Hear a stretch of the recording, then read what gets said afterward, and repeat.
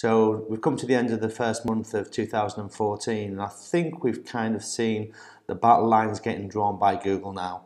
Um, which is kind of weird because at the beginning of the year it seemed to be so awesome. Uh, we started to see the re-inclusion requests coming back, and then all of a sudden things went south, and we started to get these little messages in Webmaster Tools that were saying, "Do not put another one in for a couple of weeks. We're not even going to look at it." In that time, then Rap Genius came back out of its penalisation, which was a little bit of a surprise because they had been naughty and they were truly apologetic on their website.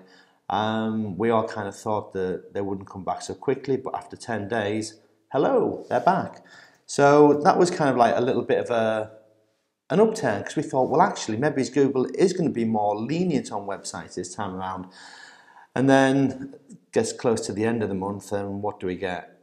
Matt Cutts reveals the biggest secret on the internet so far today that guest blogging may be going south. I think we all knew this, we've all known this for a long time, but Matt's put a fork in it, which actually, the way that he put it over, has caused two issues. Um, one, obviously, people that were doing guest posting are a little bit upset that there's going to be a revenue stream um, died up there because of the blogs that were taking money for, for these posts.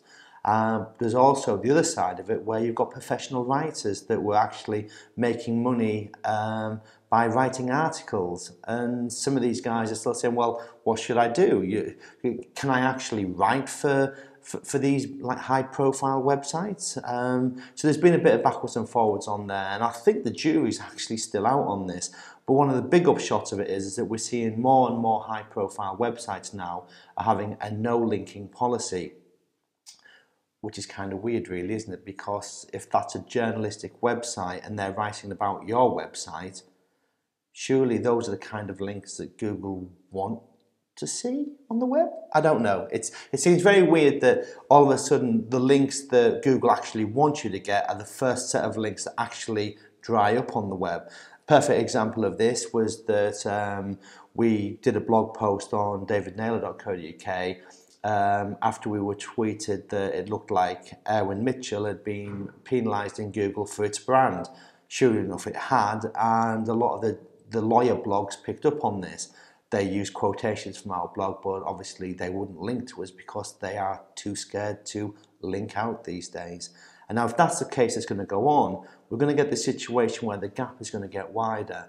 And what's going to happen is that the large brands are going to be too scared to actually even approach journalists to write about their brands. And the smaller little websites that can nip in there and go, do you know what? I don't care. I'm still going to pay a couple of hundred dollars or $25 or a thousand dollars because I'm the only one who's getting clean links in this game at the moment. So that, that was kind of weird. And it was like, how are they going to manage this situation? What are they actually going to do? Um, Searchmetrics then updated around the 23rd and we saw what they were going to do. Musicmagpie.co.uk, they don't back for the domain. Retail Choice, another one that was hit. Irwin Mitchell, obviously, I'd mentioned. Protect Your Bubble was another one. Um, and on and on and on. And then, obviously, while the dust was settling on that, Matt comes out and says, We've just taken out a French network called Buzzea, and now we're going after a German network. So I'm sure there's a lot of. Uh, German people out there at this moment in time that think that is not good, yeah. Um, we'll see how that works anyway. So, battle lines are being drawn. Matt said, no more guest posting. We shouldn't do this. He's also came out and said, article submissions, big no, don't do that either.